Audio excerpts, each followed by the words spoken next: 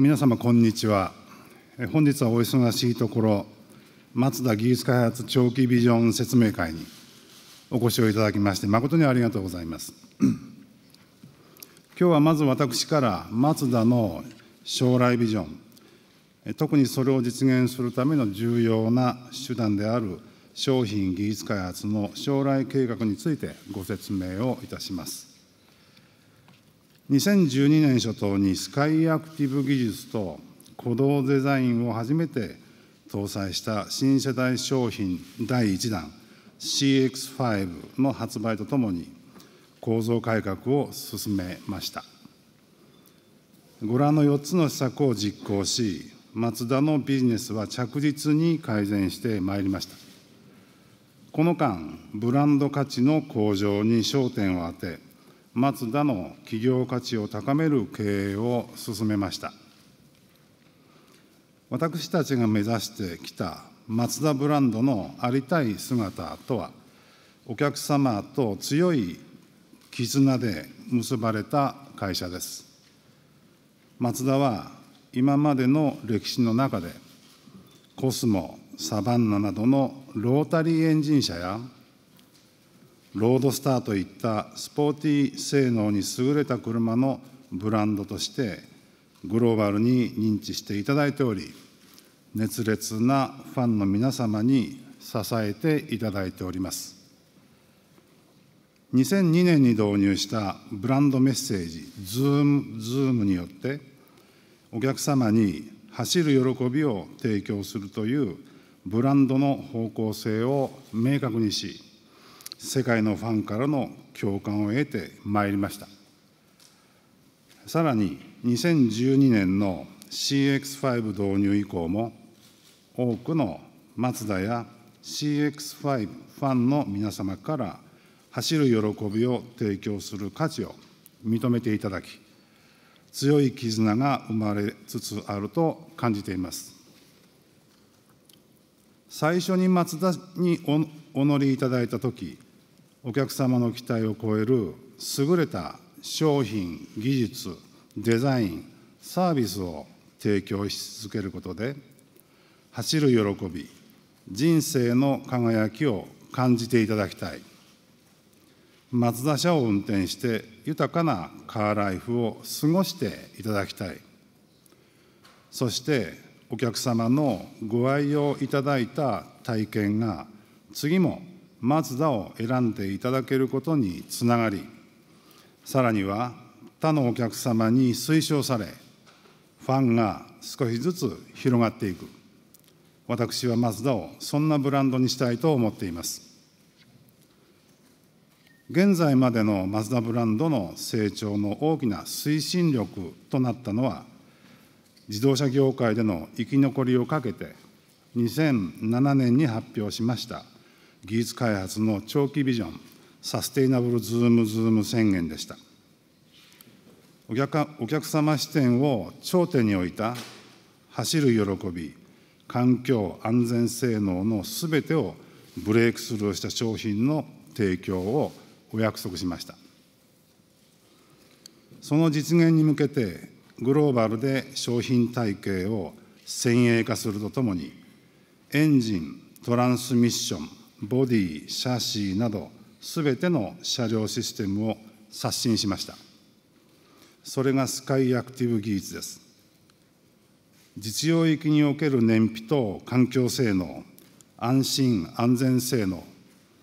iActiveAWD や G ベクタリングコントロールなどの独自の車両運動性能など、ご購入いただいたお客様の心に訴え、ご愛用いただいている日常の中で、その性能を体感し、ご満足いただける技術、そんな技術を愚直に開発してまいりました。またデザインも同様に、日本の美を映した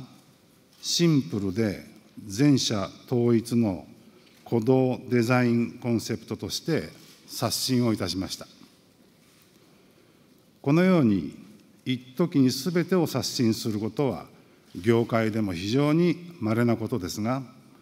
我々は技術革新と部品の共通構造であるコモンアーキテクチャと編集変量生産を可能にする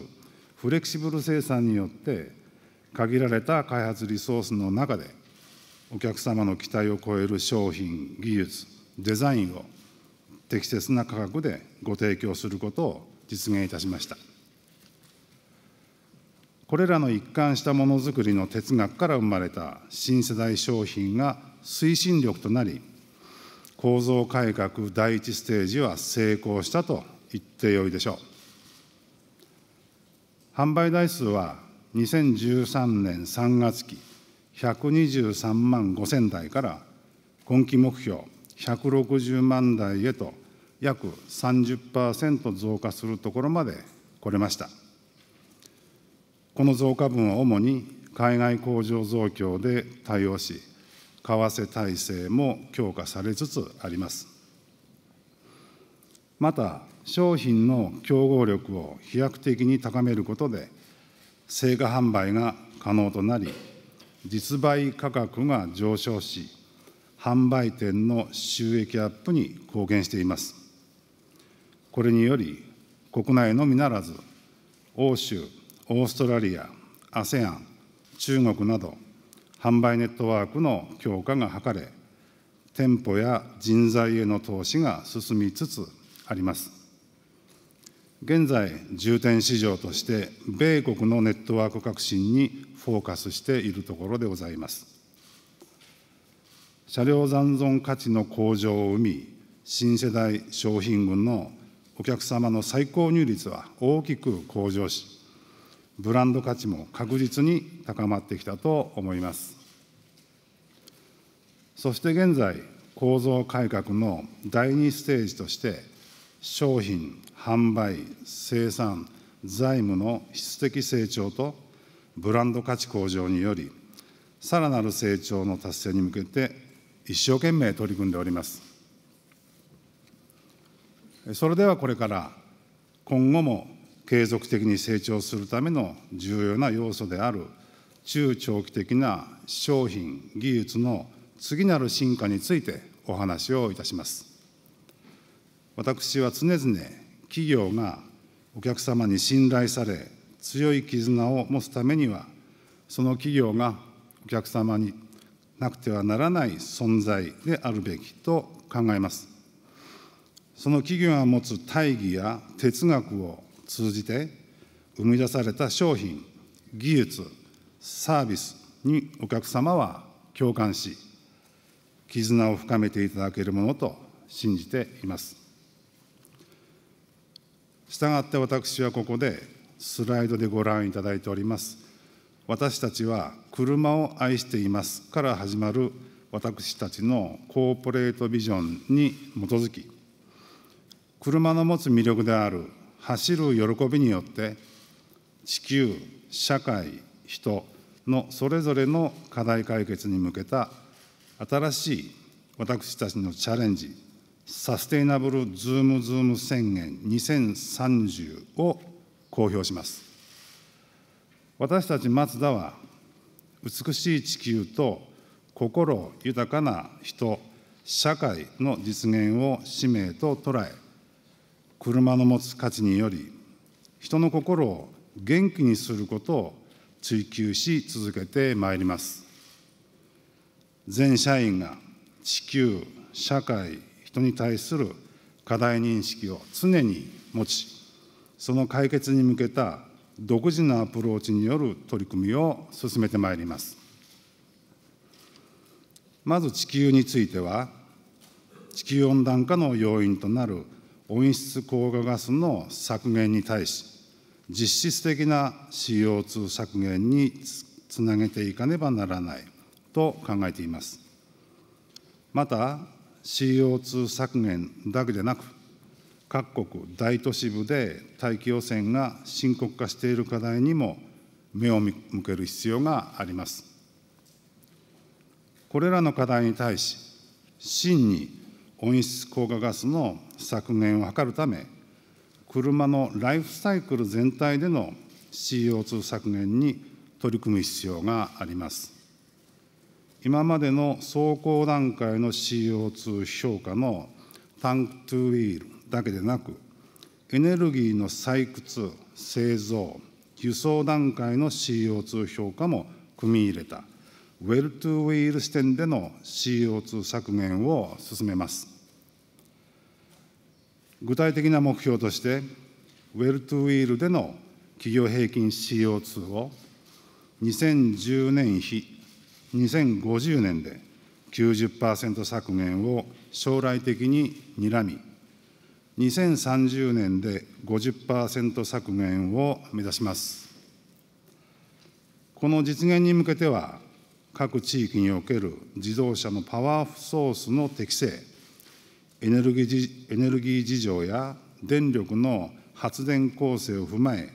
適材適所の対応が可能なマルチソリューションが必要と考えます。その削減の中心となるのは、今後将来においても世界的に大多数を占めると予測される内燃機関を活用することです。内燃機関を活用し、極限まで CO2 削減を進めていくことが、私たちに求められていることと考えています。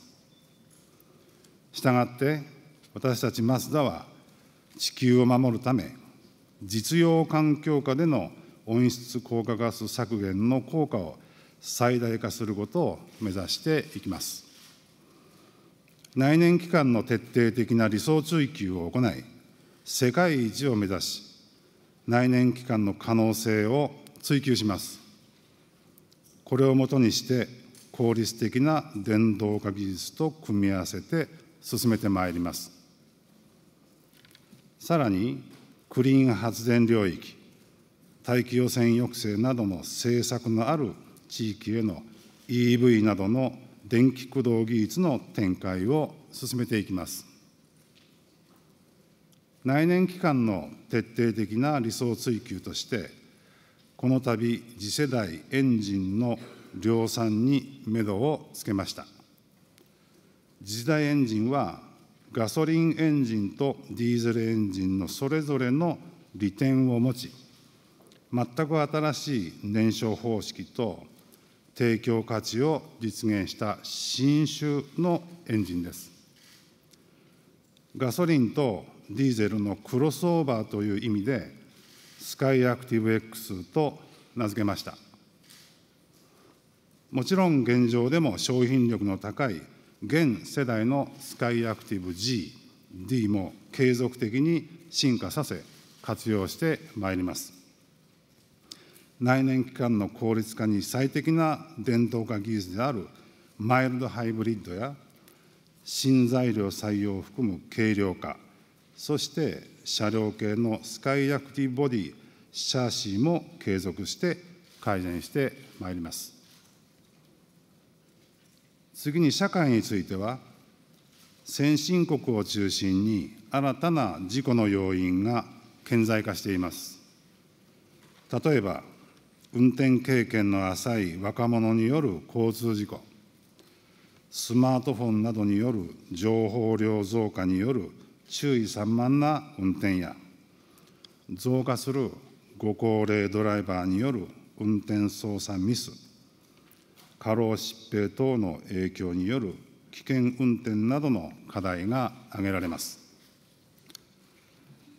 また、社会構造の変化に伴う課題の顕在化、例えば、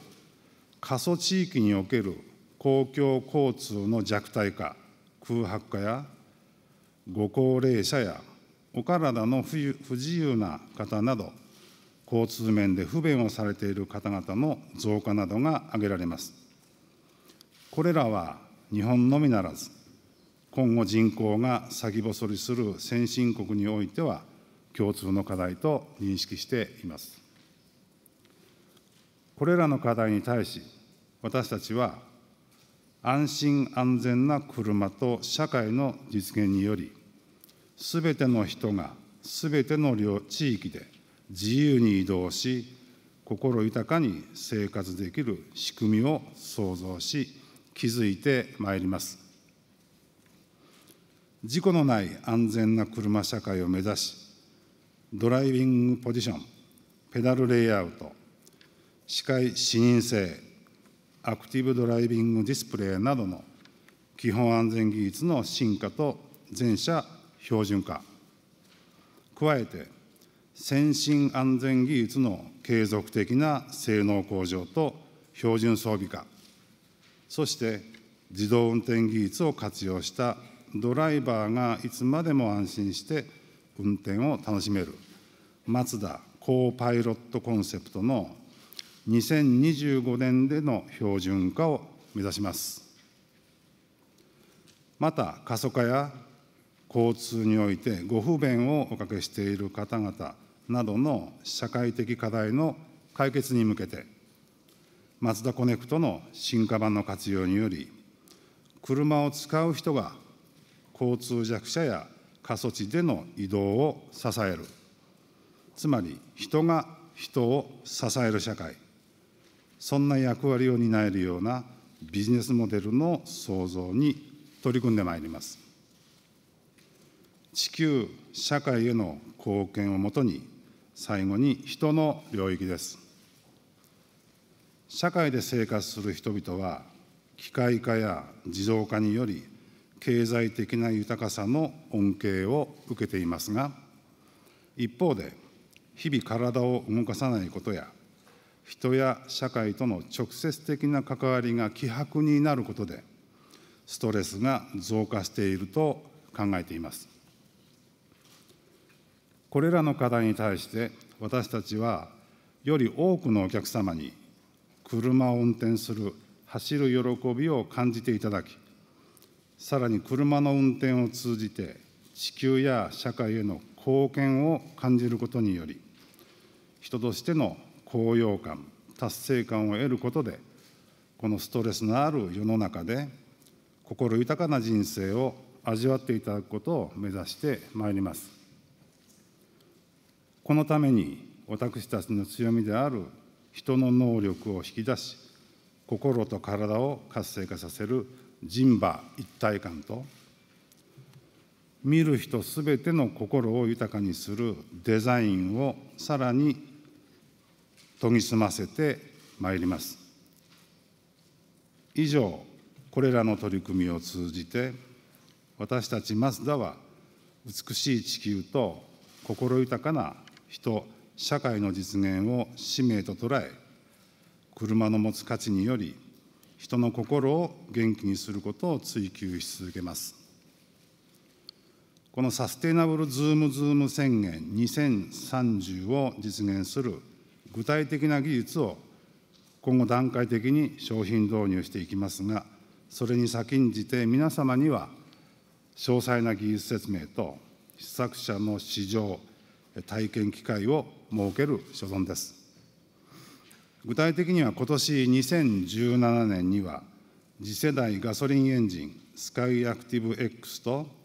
次世代のプラットフォーム新デザインコンセプトについて詳細な説明会を設けてまいります。これらは最終的に今年の東京モーターショーに出展し、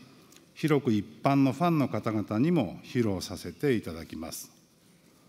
第2に、2018年には、電動化とコネクティビティ技術につきまして、第3に、2019年は、次世代ディーゼルエンジンとプラグインハイブリッドにつきまして、そして2020年は、自動運転技術、マツダコーパイロットコンセプトの説明会と、この4年間の全体包括的なまとめを行う予定です。2020年、さらに2025年ごろに、日米欧で予定されている環境規制などの環境要請の強化や、安全に対する要請の強化、お客様のニーズの多様化など、自動車業界が抱えるさまざまな課題に対し、これら技術による複数の解決策、マルチソリューションを着実に準備してまいります。そのためにも、現在進めている構造改革ステージ2の商品、生産、販売財務の質的向上とブランド価値の向上を加速させてまいります。私たちは世界中に熱烈なファンを持ち、新世代商品によりさらに多くのお客様にご愛用いただけるようになりました。そんなお客様に常にマツダ車をご購入いただけるように、次世代の商品、技術においても、最高の商品、技術、デザイン、サービス、そしてお客様のご利用体験を提供してまいります。お客様にマツダ車にずっと乗り続けたいと言っていただける、お客様と強い絆で結ばれた存在、すなわちマツダプレミアムの実現を目指します。それは豪華で高価格ということを示すものではなく、私たちが心から目指している走る喜びの力によって、お客様の人生を輝かせる、お客様との強い絆を持った世界一の車づくりを目指します。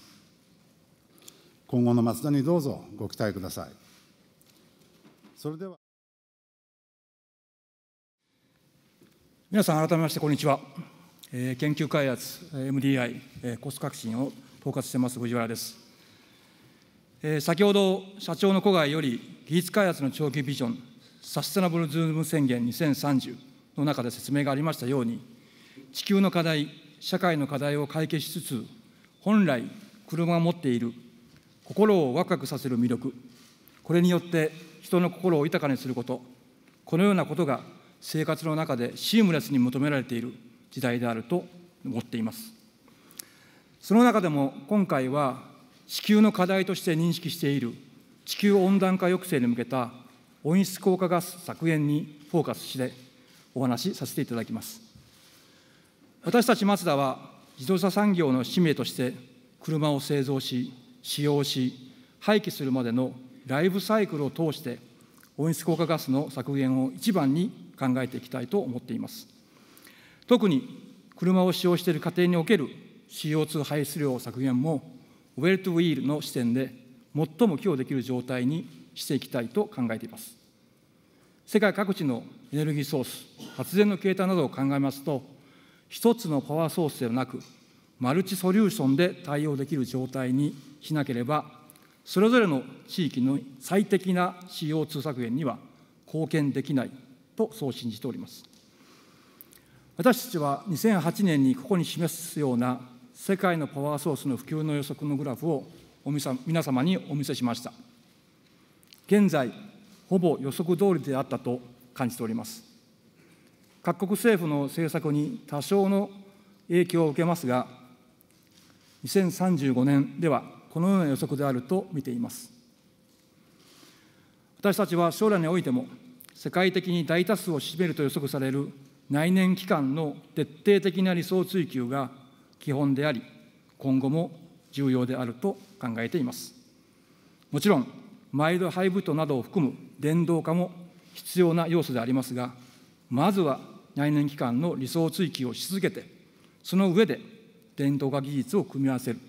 このことが我々のぶれることのない基本方針です。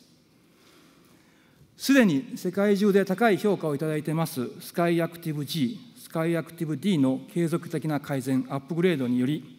高い競合力を維持しつつ、先ほども紹介がありました、次世代ガソリンエンジン、スカイアクティブ X を含めた次世代技術を2019年から商品化してまいります。G、D に加え、この X をさらに松田らしい個性のあるエンジンラインナップに加え、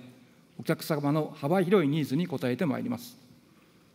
この基礎である内燃機関の進化と改善をベースに、アイストップ、IE ループとして普及させてきた電動化技術をマイドハイブリッドへ進化させ、そして EV、プラグインハイブリッドへ順次進めていきます。本日はその一連の計画の最初のステップとして、その中でのハイライトである新世代ガソリンエンジン、スカイアクティブ X について、技術コンセプトとお客様の価値を中心に簡単にご紹介させていただきます。技術の詳細は、試乗する機会を近々準備させていただきますので、その時にその試乗体験とともにゆっくりとお話しさせていただきます。今一度、2009年当時にお見せしたロードマップを使って説明します。私たちマツダは、これまでも理想のエンジンを追求し、制御因子を洗い出し、着実に理想の燃焼に近づけてまいりました。これから説明する技術は、スカイアクティブから始めた理想の内燃機関追求のガソリン燃料を使うエンジンのゴールに向けたセカンドステップとなる新しい燃焼技術です。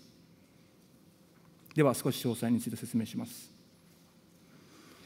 一言で言えば、新型エンジンはガソリン燃料をディーゼルエンジンのように圧縮着火させるエンジンです。すなわち、スカイアクティブ X はガソリンエンジンとディーゼルエンジンの特徴を融合し、新しいマツダ独自の内燃機関であり、優れた環境性能と出力、動力性能を妥協することなく両立するとともに、マツダが目指す人馬一体の走りをフルにサポートする地球と人に寄り添うエンジンです。私たちが目指してきたものは、実用での優れた燃費性能、排ガス性能、さらに人間の感覚に合った意のままの走り、これらをすべて高い次元で実現させることです。そのために目指してきた理想の燃焼は CCI、コントロールドコンプレッションイグニッションです。聞き慣れない言葉かもしれませんが、CCI は完全に制御された圧縮着火燃焼ということです。2つのキーワードがあります。1つは圧縮着火、そして2つ目はこの圧縮着火を完全に制御できることであり、ここが松田の独自の技術です。ではまず圧縮着火について説明します。CI 圧縮着火はディーゼルエンジンで採用される燃焼方式ですが、これをガソリンでやろうとしたものが、いわゆる HCCI、混合圧縮着火と呼ばれる燃焼方式です。この燃焼はガソリンと空気を完全に混ぜて圧縮温度と圧力で着火させるという方式で火花点火では燃えないような薄い混合機つまりリーンな状態でもきれいに素早く燃焼することで熱効率の向上つまり燃費の良さとノックス排出量少なくなるという利点を持っています。ではなぜ圧縮着火 CI にこだわるのか。その理由を2つあります。1つ目は薄い混合機で燃やすリン燃焼を大きくブレイクスルーするためです。燃焼を良くするために燃料を減らせばよいわけですが、火花点火、SI 燃焼方式でもリン燃焼してきましたが、すでに限界に来ています。火がつきません。しかしながら、圧縮着火、CI が実現できれば、火花点火、SI では実現できない理論理論空燃費をはるかに超え、2倍の薄さで燃えるスーパーリーンの世界を実現できるのです。単純単純に言ってしまえば、今までの燃料の半分でも圧縮着火であれば燃焼が可能ということです。2つ目は、圧縮着火 CI では、ピストンが上視点から動き始めた直後に、燃焼室全体の至るところで短時間に熱射するため、ピストンを押す力が大きく、またより長い時間ピストンを押すことができるため効率が良くなるからです。これを火がつきにくいガソリン燃料で実現することはエンジニアの夢のエンジンと言われたものです。商品ができれば今のところ世界初の燃焼技術と言えると思っております。しかしながら HCI 燃焼は2つの大きな課題がありました。1つは成立範囲が狭いことです。2つ目は、そのために従来の火花点火 SI との栄養が必要となるものの、過渡期やさまざまな環境下において安定して火花点火 SI、圧縮着火 CI の切り替えが難しいことです。この2つが大きな課題でございました。これらの課題のために多くの企業、エンジニアが挑戦してきましたが、いまだ実用化、商品化はできていません。したがって我々に与えられた課題は圧縮着火燃焼範囲を拡大しつつ燃焼の切り替えを完全に制御する技術をガソリン燃料で有することです。この制御技術がブレイクスルーのポイントであり、かつ、マツダが保有する独自技術のポイントになります。では、圧縮着火を完全に制御できる技術を少しお話しします。どうしても切り替えが必要であることから、スパークプラグを有する構造であることを逆手に取り、スパークプラグを圧縮着火の制御因子、コントロール手段として活用するという考えにより、一部の霊感時を除くほぼ全域で圧縮着火、市街燃焼の実現を可能としました。この考えをコンセプトとして理解していくために簡略化して説明します。本来はもっともっと緻密な制御をしていますので、詳細は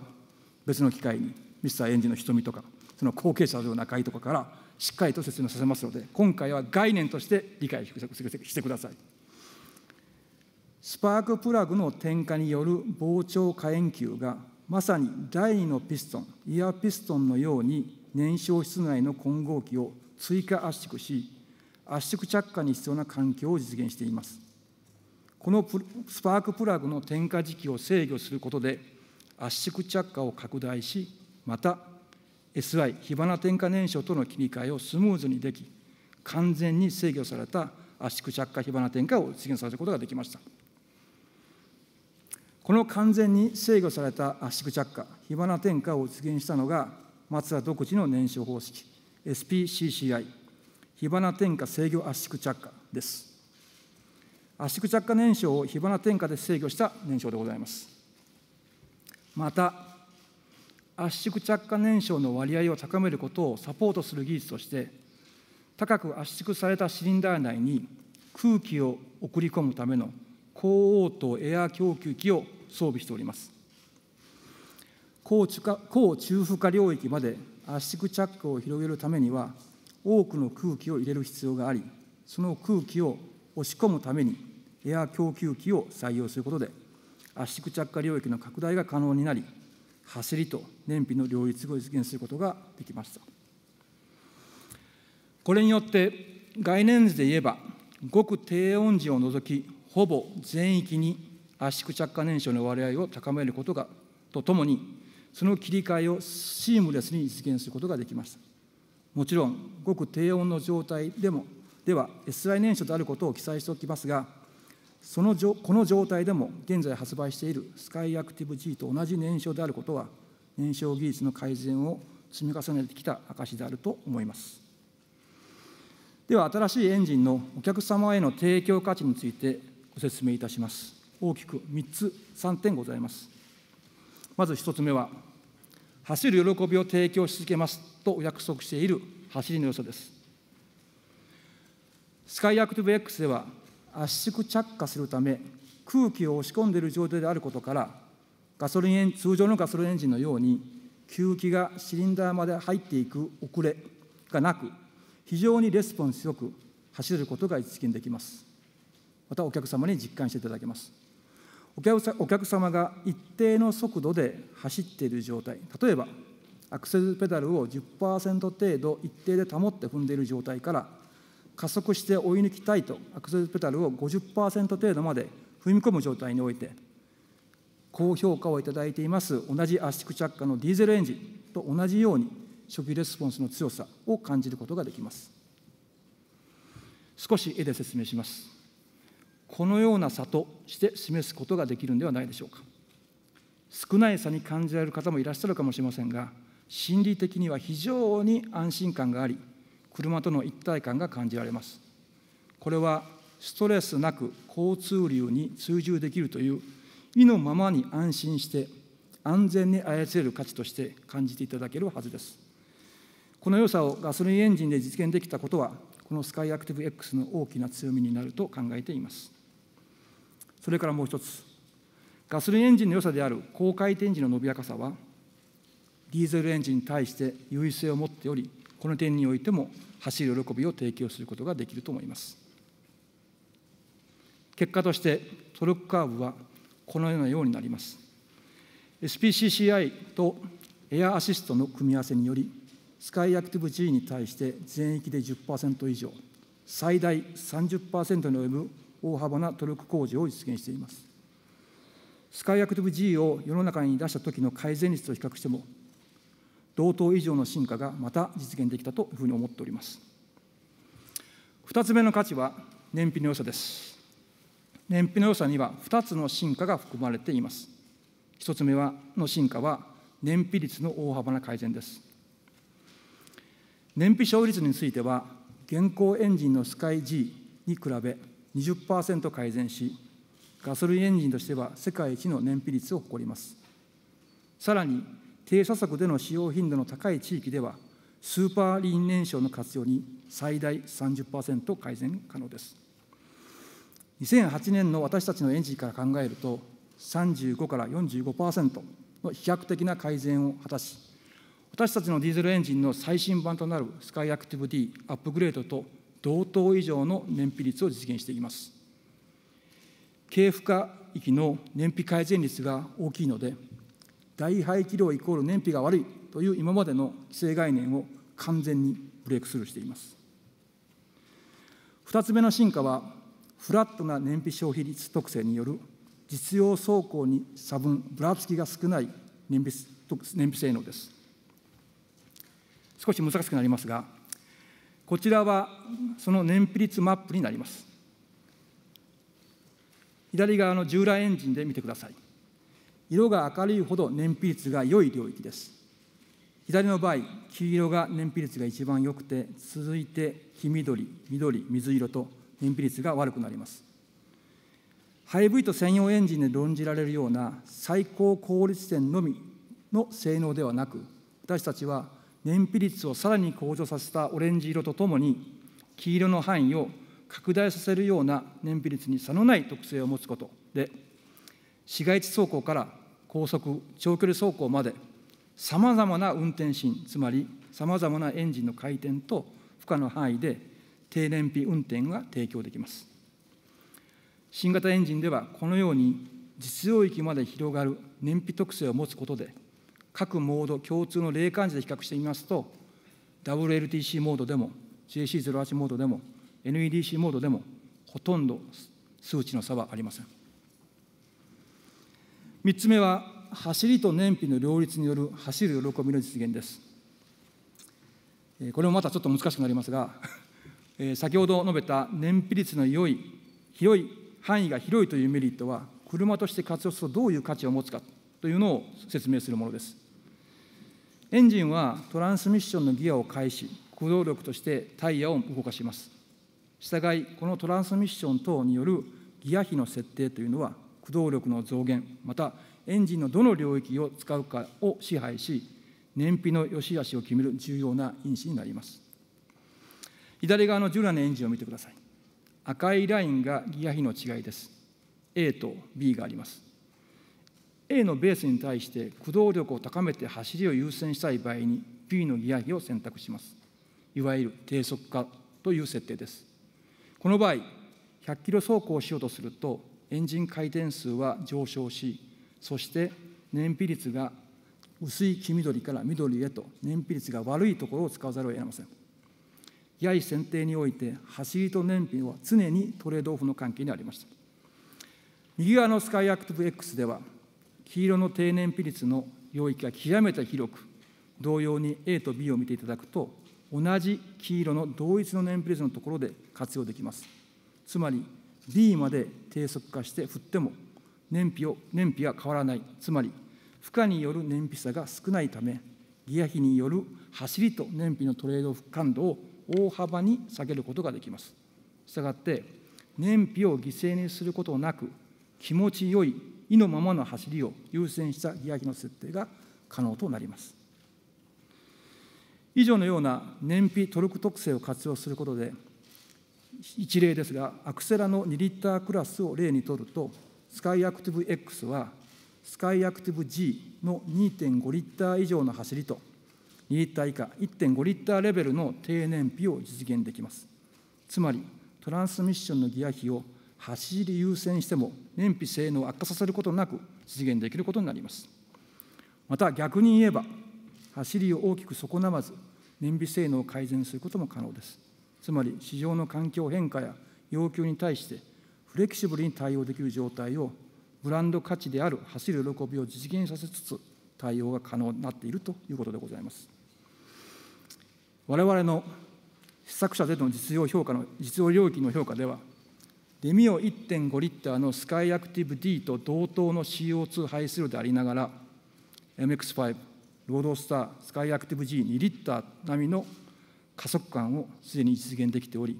手応えを感じております。最後に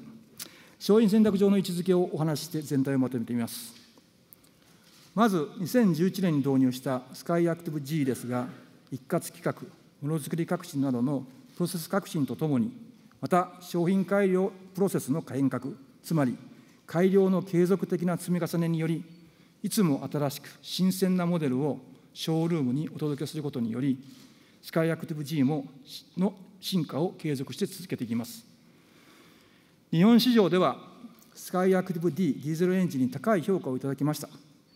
一方 US 市場ではここに示しますように SAE ペーパーとしてアメリカの EPA がスカイアクティブ G ガソリンエンジンを第三者として高く評価していただいています。つまりまだまだスカイアクティブエンジンは高い商品力を有していると考えていますそしてここまでの数年の販売生産によりコスト競争力も高まっており、まだまだこのスカイアクティブ G、D のアップグレードエンジンは、お客様に対して高いバリューフォーマネーを提供できると考えております。まとめてみますと、スカイアクティブ G、D を進化し、アップグレードしていくことで、商品競合力を維持、強化を継続すること、これは私たちのビジネスの基盤の強さに貢献できると言えます。このように、いまだ高い商品協力総力を有するスカイアクティブ G、D のアップグレードを継続採用した上で、新たにスカイアクティブ X の展開により、コスト競争力を含み、走りと燃費を高い次元で利用した幅広いラインナップが構成でき、この競争力がある3つのエンジンを電動化技術と組み合わせることにより、優れた戦いが行えるフォーメーションが組めることになり、地域特性、顧客特性などに合わせて最適な組み合わせの商品を提供できることで、ビジネス成長への貢献ができると思っています。今後もマツダは新しい美しい地球を守りながら、社会のさまざまな問題を解決しつつ、走る喜びを通して人々の暮らしを豊かにすることを実現するというマツダの大義に基づいて、理想の内燃機関の追求に代表される技術の理想追求に向け挑戦を続けてまいります。この理想を追求した内燃機関にトランスミッション、ボディ、シャシーの進化、およびアイストップ、アイループ、その進化であるマイルドハイブリッドの組み合わせをベース技術とし、さらに最も重要な制御技術と電動化技術を重ね合わせて EV、レンジエクステンダー、プラグインハイブリッドを商品化してまいります。これら EV を含むすべての電動化商品の電動化技術、モーター制御技術、電池制御技術などは、モデルベース開発によって効率的かつ低投資で高品質な商品の実現を可能とします。このビルディングブロック戦略とモデルベース開発、ものづくり革新など、プロセス革新の進化によって、2020年、さらには2025年に迎える大きな壁を越えていくためのマルチソリューションを松田の規模で着実に準備してまいります。これは地球を守るという意味においても、世界中のお客様に対して、その地域のお客様に最適な動力源を走る喜びとともに提供できる準備が整うことを意味します。2020年の松江100周年に向けて、毎年毎年その技術をその試作者とともにご紹介することを約束し、また2021年という次なる100年のスタートの年に、すべての商品ラインナップをお客様のところにお届けすることをお約束させていただきます。松田の次なる100年のスタートとして、準備を完了することを約束し、本日の説明を終わらせていただきます。長時間のご清聴、誠にありがとうございました。